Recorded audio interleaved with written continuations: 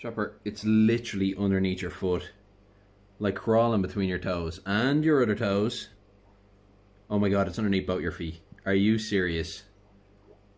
Oh, where's he gone? Oh!